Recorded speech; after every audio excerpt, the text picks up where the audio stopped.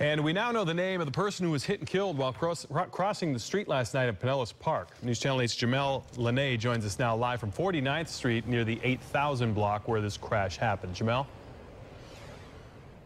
Well, good evening to you, Josh. You know, the people that we spoke to around here feel like more safeguards should be put in place here on 49th Street to prevent fatalities like last night's.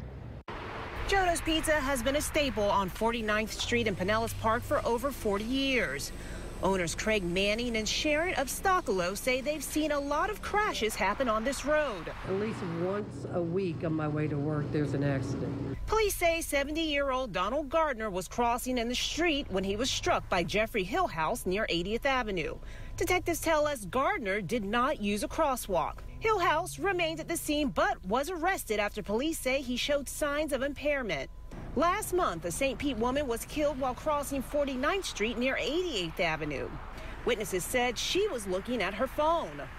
One after the other, we watched as nine people crossed in the middle of the street like police say Gardner did last night.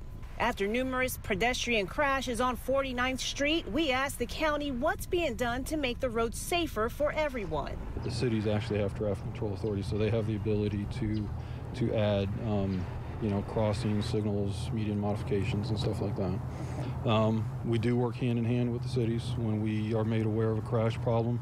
Manning believes officials should come up with new ideas. Maybe it's at a crosswalk, or they call them crosswalks or walkovers or whatever they are, so bicycles can go across, pedestrians can go across, and it would make it a little bit easier and a little bit safer. And county officials tell us that at this time right now, there are no plans for a review for 49th Street in Pinellas Park at this time. Josh? All right, Jamel Lanee live for us in Pinellas Park. Thanks for that.